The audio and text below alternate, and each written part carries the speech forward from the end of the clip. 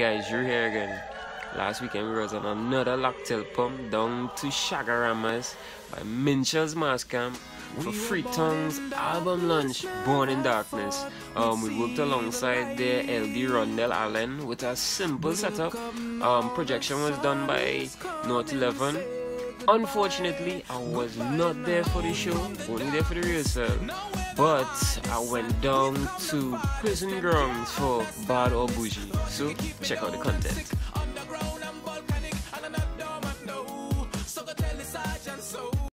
I'm okay in my human form. That's just before